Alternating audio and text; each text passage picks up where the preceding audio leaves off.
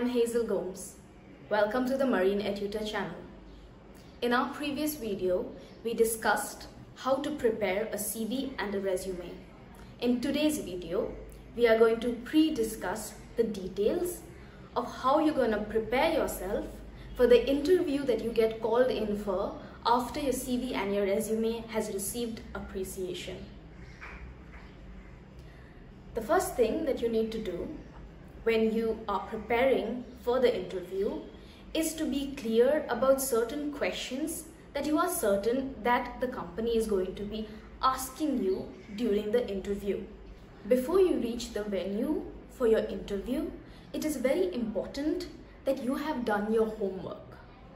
इसका मतलब यह है कि आप इंटरव्यू पहुंचने से पहले आप कुछ सवालों का जवाब आगे से तैयार करके रखेंगे क्योंकि इट इज़ ऑलमोस्ट सर्टन कि पैनलिस्ट ये क्वेश्चन आपको पूछने वाले हैं।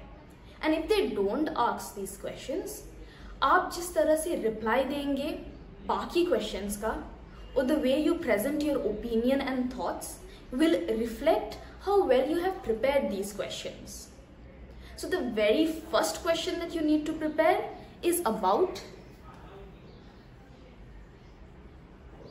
the company that is taking your interview. So you need to have studied the company that you are going to be interviewed for. The first thing about the company would be their motto. almost every company has a logo and a slogan or what they call their motto as to why they do what they do. So you need to have learned this by heart. And along with the motto, their functioning based on it would be of importance. So what the company does and how that is the method that they use for conducting their business or their enterprise would be something that you need to look into.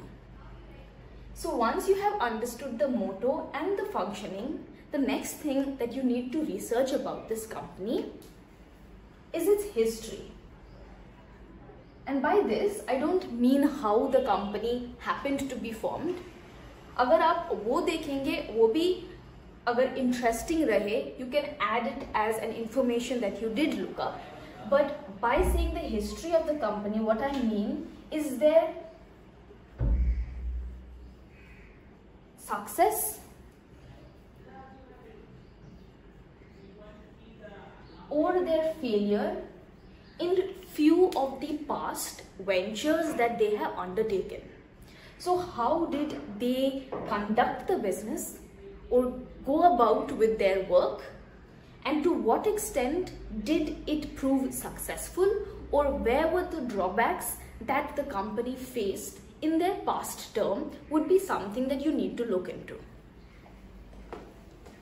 You might also want to study about the collaborators, the co-partners and the joint ventures that the company has undertaken. Usually, companies in specific projects would involve certain specific groups or people that they think would have added qualities or provide additional benefits to that project. They also would have ties with certain individuals or groups that they would call niche.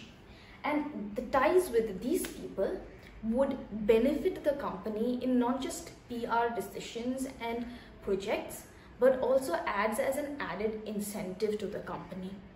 You need to think about how they benefit the people of the company and analyze how the projects were successful because of the contribution of the individuals involved. Now the reason you should be going into so much details or studying their involvement is because sometimes the decisions that the company makes might have certain loopholes which is very hard to identify. And if by chance you are able to identify the loophole that is how the company could have made a better decision or where the company made a mistake or a slight tilt in their project decision or how the project could have had been better with involvement of certain people or by not involving certain people. If you are able to find those loopholes and able to explain to the panelists why it is a mistake and how it is a mistake, also how it could be fixed, then it shows not just how good you are at analyzing and providing information to the company for their benefit in further projects, but also how you as an individual have the potential to be able to benefit the company and help it improve. When they see such valuable potential and quality in an individual, they would necessarily be inclined to hire you. So it's like a brownie point. Now, usually, even though most of the time we join a company or we take up a job for the pay scale or for the benefits that the company provides us. But what the company actually wants to see is something that is more than just that. So they want to feel that their company is not just providing the basics, but providing something that would elevate its meaning and value, sometimes usually philosophical. So you need to prove to the company that it's not just because the company is providing the basic amenities, but also because it is advancing you as an individual and the values that you as an individual have for the society as a whole. So it's something like a barter system. You are providing benefits to the company, but you are expecting to get the same amount of benefits from the company. So you need to explain to the company how this very particular company is your pathway to a successful career.